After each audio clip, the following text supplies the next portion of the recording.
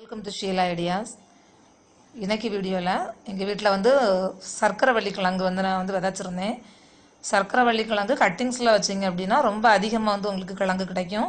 இது மாதிரி அந்த கட்டிங்ஸில் வச்சதான் இது. அங்கே ஓரளவுக்கு ரெடி ஆகிடுச்சு எல்லா லீஃபுமே வந்து மஞ்சள் நிறமாக ஆன உடனே ஒரு அஞ்சு நாள் வந்து நான் தண்ணி விடலை. அப்படி நல்லா காய போட்டிருந்தேன். பாருங்க இப்போ எல்லா இலையுமே வந்து நல்லா வந்து காஞ்சு போச்சு. நம்ம எடுக்கிறதுக்கு முன்னாடி தண்ணி விட்டு எடுத்தால் போதும். ஏன்னா அப்போ தான் நமக்கு கிழங்கு எடுக்கிறதுக்கு வரும். இல்லைன்னா மண் வந்து நல்லா ட்ரையாக இருக்கும். இப்போ மறுபடியும் உங்களுக்கு சர்க்கரை வள்ளி கிழங்கு வளர்க்கணும் அப்படின்னா இந்த மாதிரி ஒரு கட்டிங்ஸ் எடுத்து வச்சாலே போதும். கட்டிங்ஸ்னால நல்ல இடம் இது வைக்காமல் ஓரளவுக்கு நல்லா திக்காக இருக்கிறது மாதிரி நல்லா பச்சை நிறத்தில் இலை இருக்கணும். நல்லா திக்காக இருக்கிற ஒரு கட்டிங்ஸ் இந்த மாதிரி எடுத்து வச்சுட்டிங்கனாலே போதும். அதுலேருந்தே உங்களுக்கு இது மாதிரி ஒரு பெரிய இது வளர்ந்துரும். ரொம்ப ஈஸியாக சர்க்கரை வள்ளி கிழங்க மறுபடியும் நீங்கள் வளர்த்துக்கலாம் மண்ணுக்கடியில் இருக்கிற கிழங்கு வகைகளை வந்து ஹார்வெஸ்ட் பண்ணும்போது நிச்சயமாகவே ரொம்ப இன்ட்ரெஸ்டிங்காக இருக்குது ஏன்னா உள்ள ஏதாவது இருக்குமா? ஏன்னா நம்ம கஷ்டப்பட்டு வளர்க்குறோம். உள்ள ஏதாவது இருந்து தான் சந்தோஷம். பாருங்கள் எடுக்க முன்னாடி தண்ணி விடுங்கணும். அங்கே இப்போ வந்து எடுத்துடலாம்.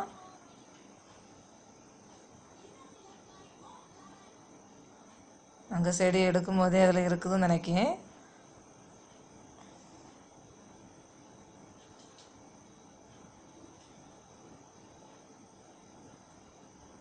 பாருங்க அந்த செடியை பிடுங்கும் போதே அதில் இருக்குது பாருங்க கிழங்கு. ஒரு நாலு அஞ்சு கிழங்கு இதில் இருக்குது இப்போ மண்ணுக்குள்ளே வேறு ஏதாவது கிழங்கு இருக்கும்னு நினைக்கிறேன். நல்லாவே வளர்ந்துருக்கு பாருங்கள் பார்க்கவே ரொம்ப அழகாக இருக்குது நல்லா ஆரோக்கியமாகவும் இருக்குது இதெல்லாம் எடுத்துக்கலாம். எடுத்து கொடியை வந்து அவுட் பண்ணிவிட்டு உள்ளே வந்து மண்ணுக்குள்ளே கிளறி பார்க்கலாம். ஏதாவது இருக்குதா அப்படின்னு. நீங்களும் உங்கள் வீட்டில் இந்த மாதிரி ட்ரை பண்ணி பாருங்கள் ஒரு சின்ன க்ரோ பேக்கில் கூட நீங்கள் வச்சு வளர்க்கலாம். ஏன்னா அதுக்கு ஆனால் ஓரளவுக்கு கொஞ்சம் இடம் இருந்தது அப்படின்னா கிழங்கு வந்து அதிகமாக வந்து கிடைக்கும். ஏன்னா இந்த இடமே போதலை பாருங்கள் அது வந்து வெளியிலலாம் இந்த கிழங்கு வந்து வந்துருக்குது. அதனால் இந்த இடமே அதுக்கு போகலை. கொஞ்சம் பெருசாக இருந்ததுன்னா நல்லா வரும். பாருங்கள் அடுத்ததும் ஒரு கிழங்கு இருக்குது மண் ரொம்ப ட்ரையாக இருக்குது அப்படிங்கிறதுனால தண்ணி விட்டுருக்கேன்.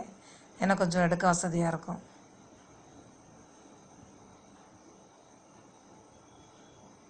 ஏன்னா நம்ம குளிர் ஏதாவது வச்சு தோண்டி எடுக்கலாம் அப்படின்னா கிழங்கு அடி வாங்கிரும் அப்படிங்கிறதுக்காக கையினாலே எடுக்கிறேன் பாருங்கள் அதுவும் கூட ஒன்று பாதியாக உடஞ்சி வந்துடுச்சு மீதி பீஸ் உள்ளே இருக்கும்னு நினைக்கிறேன். சரி என்னால் எடுக்க முடியலன்னு சொல்லி என்னோடய ஹஸ்பண்டை நான் வந்து ஹெல்ப்புக்கு கூப்பிட்ருந்தேன் பாருங்க இப்போ அவங்க தான் வந்து எடுக்கிறாங்க. பாருங்க அந்த உடனே ரெண்டு கிழங்கு கிடச்சிடுச்சு. இப்போ இன்னும் இருக்கும்னு நினைக்கிறேன். ஆனால் உண்மையில் ரொம்ப இன்ட்ரெஸ்டிங்காக இருந்தது. ஏன்னா வெளியில் பார்க்குறத வந்து நம்ம பார்த்து தெரிஞ்சுக்கலாம். எத்தனை காய் இருக்குது அப்படின்னு மண்ணுக்குள்ளே இருக்கிறதுங்கிறது உண்மையிலே தோண்டி எடுக்கும்போது நிச்சயமாக நல்ல ஒரு சுவாரஸ்யமான அனுபவம் தான்.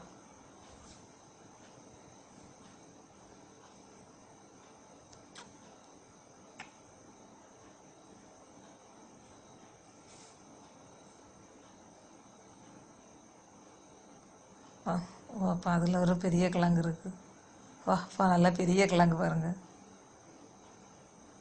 பெருசாலாம் ரொம்ப செலவு எதுவுமே இல்லாமல் ரொம்ப ஈஸியாக இது வந்து வளர்ந்துருங்க.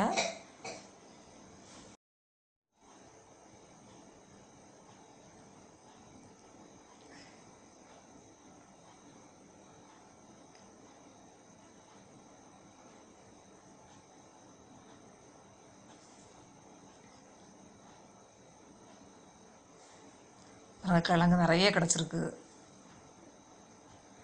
ஆனால் வந்து உள்ளே இருக்குது பாருங்கள் நிறைய.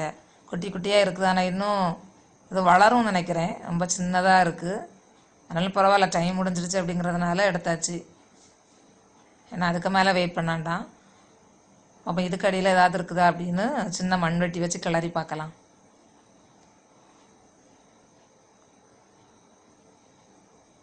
நம்ம கையினால் எடுக்க முடியல. ரொம்ப ஆழமாக வந்து இதை எடுக்க முடியல பாருங்கள் மண்ணெல்லாம் ஓரளவுக்கு தண்ணி விட்டப்புறமே கொஞ்சம் ட்ரையாக தான் இருக்குது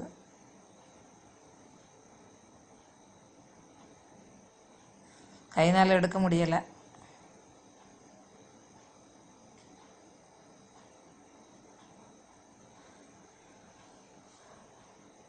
சரிங்க இதுக்கு வந்து உரம்னு சொல்லி பார்த்தோம் அப்படின்னா ரொம்ப பெருசளவுக்குலாம் உரம் இல்லை. நான் வீட்டில் ரெடி பண்ணுற உரத்தை தான் நான் வந்து கொடுத்தேன். வீட்டிலனா நம்ம காய்கறி வேஸ்ட்லாம் நம்ம மக்க வச்சு இருக்கிற உரத்தை வந்து இதுக்கு வந்து கொடுத்தேன். மற்றபடி பெரிய பராமரிப்பு எல்லாம் இல்லை. ஆனால் வேப்ப முன்னாக்கு ஓரளவுக்கு நீங்கள் தூவுறது நல்லது. ஏன்னா அது மண்ணுக்கடியில் இருக்கிறதுனால அந்த வேர்ப்புழு தாக்கம் வந்து இல்லாமல் இருக்கணும் அப்படின்னா மாதம் ஒரு முறை கொஞ்சம் வேப்ப முன்னாக்கு தூவி விட்டுருங்க. மற்றபடி வீட்டில் இருக்கிற உரம் வந்து நீங்கள் போட்டாலே போதும். பெருசாலாம் உட்காந்து கவனிக்கணும் அப்படிங்கிறதெல்லாம் இல்லை. இந்த மாதிரி உரத்தை கொடுத்தீங்கன்னா போதும் நல்லா வளர்ந்துரும். பாருங்கள் எவ்வளோ கிழங்கு எடுத்திருக்கேன் பாருங்கள் ரொம்ப சந்தோஷமாக இருக்குது. நீங்களும் உங்கள் வீட்டில் இந்த மாதிரி ட்ரை பண்ணி பாருங்கள் தேங்க்யூ போவோம். இந்த வீடியோ உங்களுக்கு பிடிச்சிருந்தேன்னா சப்ஸ்கிரைப் பண்ணுங்கள்